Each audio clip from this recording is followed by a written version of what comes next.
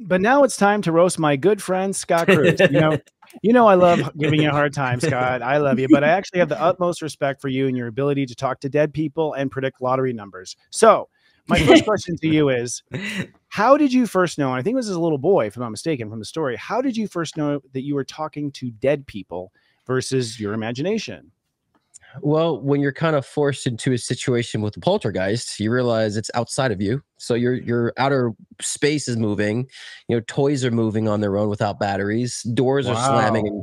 Rattling and so I, there was a lot of external physical manifestations so just like the poltergeist movie you know that they were built in indian burial ground right that house mm-hmm. we had the same thing and so there was a lot of like restless energy residual energies in the home that we were in so i was actually really picking up on a lot of those manifestations and apparitions. And so it was about when I was like six years old, I started realizing that and recognizing that and and predicting things. So it started at a very, very young age. And of course, mm. as I grew and evolved, I was able to kind of assess like what I was seeing. I was able to go into other locations and be like, you know, there was a murder here. And then my friends would look up the history of the house and there was a murder there. Wow. And so mm. um, it, it started for me as becoming a physical medium, actually. That's how it really started. And mm. then, of mm. course, over time, I was you know developing my intuition and my psychic ability, and um, and also how to really kind of refine my channel. What's the difference between the resi- residual energies in a space versus active spirit connection? So, yeah, that was the, the decades of, of learning um, in that regard. But yeah, it started with as being a physical medium actually, uh, as a young as young as a young child. So, hmm. do you remember the so did you feel fear up until a certain point and and then overcome it and do you remember that mm. moment this you're gonna laugh at this. My only fear. I was four years old and I would woke woke up having a repetitive dream of being locked in a closet. Oh. literally, literally, had that that exact literal dream. So that was my fear. Um, no, because this is the interesting thing, which is why I I was also you know in belief that we are carrying our powers, so to speak, from previous incarnations because it just seemed normal to me. You know, it seemed natural to me. Mm. Um, mm. And so there wasn't a fear about it. There was a more of like a curiosity about it. So I would talk to it. Um, mm. So I actually had that very inquisitive mind. I wanted to explore it. The only time I really got freaked out when I was sleeping and I saw these imprints in the bed and Ooh. all of a sudden the, the sheets mm. got pulled off of me. I did a high kick and ran out of there. So things like that, of course, you know, f- will freak you out. But it wasn't until I started to really kind of dive into the ability and I got wrapped up into the religious aspect of things. I think the fear came into when I started experiencing the the, the possessions experience, and I think that's where mm-hmm. the fear was really surrounding my essence of the awareness of such. Hmm. But the actual what? spirit connection, no. Hmm. What's your other than that? You might have already answered this, but what's your like craziest experience? You know, medium wise, like what, like the the high the the best mo- message you've ever received, like clearest, or do you do you have any of those moments where it's like oh, you, you, know you so get your normal many. message and there's something like way up here, you know? Well, there's so many because like I've dealt with you know, I mean, thousands and thousands of, of sessions and clients and i've had some with suicide i've solved I, actually i solved a couple murder cases um mm-hmm. because they got the information went to local police and found the person based on what the spirit was telling me of who killed them um wow. i had where uh i think a medium showed a medium session showed me where a, a lost person was before so i had mm one of those cases and i wasn't even trying to do those things i just kind of mm. plopped mm in my lap and so i think i've always mm-hmm. Been kind of afraid of doing those things there's a lot of responsibility that comes with that so maybe when mm. i'm I'm 60, I'll do it. Um, and so I think when when it turns into something tangible that way from message from spirit, that's where it was kind of really like, wow, that really is from, from a higher point of view. And um, and I also prevented, uh, I think I prevented a couple um, health issues too. I had a mother tell me, mm. tell my daughter to get her gallbladder checked out. It's going to burst. And then they went to the doctor and they said, oh my gosh, if it came a day later, it would have burst. So things mm. like that of preventatives that spirit's always given me, which has been amazing because those are tangible you know, evidences, you know, of right. the future, what may come. So it isn't just like psychically getting information. It's like we're actually getting this intelligent feedback of what's about to happen. So there's been so many of those. So many of Mm. those you know um and even someone would come for me to speak to one loved one and then somebody else's loved one came through like did your coworker's brother just die and Mhm. tell them it's, and, and so all these like other information where people have gotten so much peace just from extensions um, of Mhm. people that i've connected to so uh spirit works in in mm, i would say mysterious ways in a sense but in ways that I, I think that it makes me feel honored that i'm entrusted with the ability actually so i take it very seriously Mm. I'm a longtime fan of your Thursday night show, which you can plug here in a minute. And one of the things I've noticed is that you have constant communication with uh yeah, I'm there. Seriously, I have a robot doing it. But you you actually you have a very unique perspective because you for the show, people ask a question and he answers it like live. So it's no, you know, it's obvious it's happening live.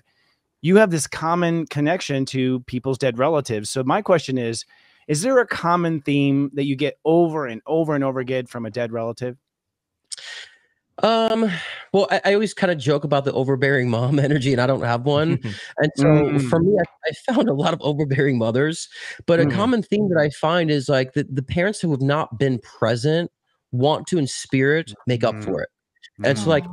I don't care if you don't know if I'm around. I'm going to be there in your life as protection, as a way to guide you, as a way to you know put things in your path. And so, a lot of times, I'm finding like to make amends. And what I always say is like clearing out karma. You know what I'm saying? Mm. And so I find a lot of that, you know, overcompensation and, um, you know, of, of parents who have not been there for their children, they're trying to come back and be there, whether they want it or not. So I, I find a lot of that, and that's wonderful. And That's so it gives a lot of closure to my clients because, you know, they're just left with a parent that's passed on without closure, and so. Mhm. I always say a little bit of curiosity can like bring so much into your channel and bring so much more connection that you may may have never thought that you were possible of connecting into. You know, so um, that's very healing for a lot of people, and I see that kind of making amends and some Mm. spiritual aspects. I'm curious, when did you know you were going to do this as a profession? Like, was there, did you always know? Or, No. yeah. I had I didn't know. I I was remember a lot of people know I did music. I was composing for t- uh, TV and film, doing quite fine at that. You know, uh, well, and I was a mystic. You know, secret mystic on the side. I was doing parties like secretly and reading people secretly. I had no intention of doing this. So if someone told me 25 years ago I'd be doing this, I'd laugh in their face. I'm like, you're crazy. So it just came out where it's like the, I couldn't deny it any longer because spirit was knocking on my door everywhere I was going. I had to stop at Mm. the gym. Oh, you're friends with you, and she says she's connected with you at this moment. And then they'd show me the iPod that like our song just came on. Like it was Wow. frequently stuff like that. And I'm like, I can't live like this. Like I have to either do something with this or I- I, Mhm. it's, it's cumbersome. And so uh, my guide said, well, then create a Facebook page, Scott, and do free readings. I'm like, oh my God. And so I did. And then people were like amazed by that and said so in exchange they said please do reviews for me and i did and of course then i was like practicing that for quite some time then it landed me on television and of course and the rest is history um so i've been doing you know professionally for 12 years you know and so now i understand why i, I never would have thought so even now like as my mentoring that i've been doing for the past five years i still sit here saying who am i to give advice but then i remind myself the trauma and all the stuff but you know it's just i never thought i'd be here doing this Mm. and you know Mm. and uh, and so I'm very humbled by the ability and gift that I have, but it's definitely definitely not something that that um, I was seeking. It definitely was calling me for sure. Well, Scott, Scott has clo- spoken with a very close passed away loved one of mine. Spot on, Mm. as always, like you always are. Before we had knew anything about each other, it was Mm. unbelievable. Other mediums had said similar things, but not with the detail. And there's so many stories behind that that I won't go into right now. But I can Mm. definitely say I felt so comfortable allowing you to connect in that way. So I want to thank you again for that, Scott. It really was an appreciate that. Yeah, because that's that stands out to me too. That was a very interesting, you know, information. But yeah, Yeah. that was that was a that was a deep one.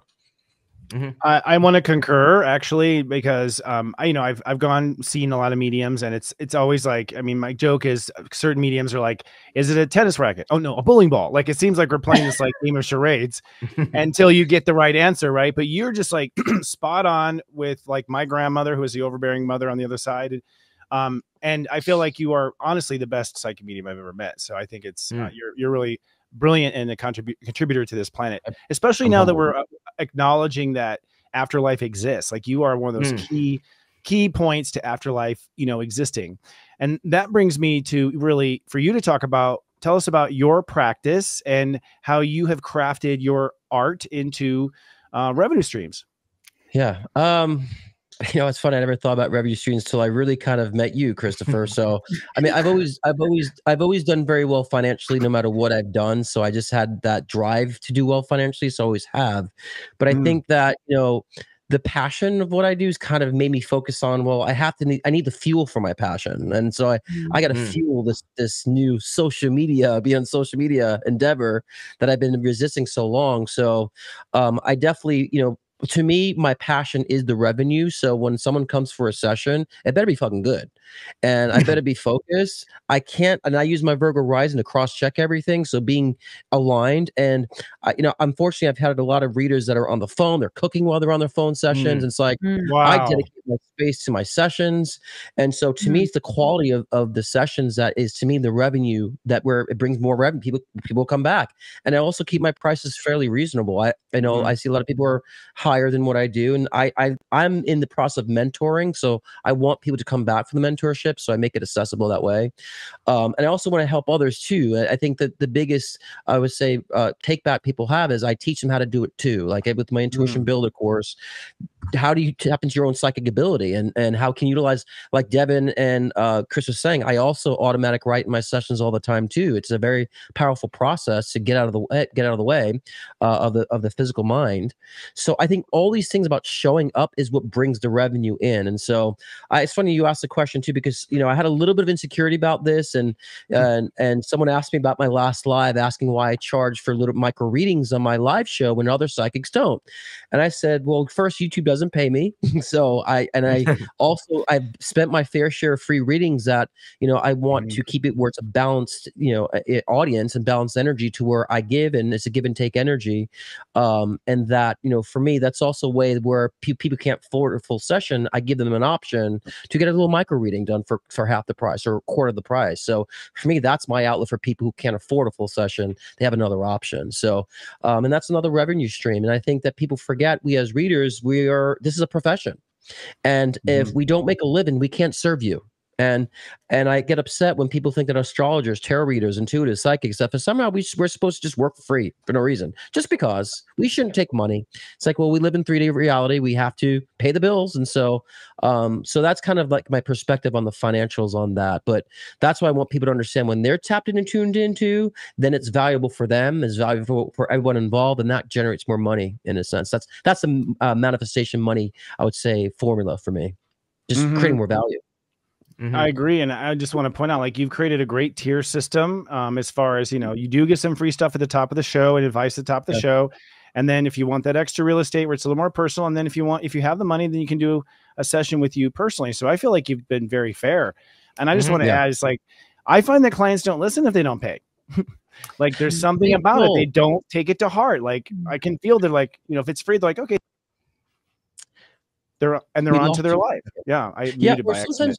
And I'm sure all you guys can can understand too. Then you get people coming back and taking advantage. And I had that for like Mm. I think I did Instagram lives for free for like six seven months, and it was so draining. Like I was just like, well, I'm starting new with this social media stuff. I'm gonna do it all for free, and it was exhausting, man. And I started Mhm. to kind of almost resent it a little bit Yeah. because people just like exploiting it and taking advantage of it, you know. And so, and Mhm. I tell people, the people who are doing it for free are either getting paid for YouTube or they're just new getting started themselves on Mhm. it, you know. Mhm. So, um, so yeah, that's a great question to ask because you know a lot of times people think, oh, you should just do it for free. And I, in the beginning, I had to like, you know, f- f- I was feeling guilty for a while too. Like, should I? You know, and so should I Mhm. just manifest my prosperity? It's like, no, this is the channel to manifest it. So That's how you yeah. do it. Yeah. Mhm.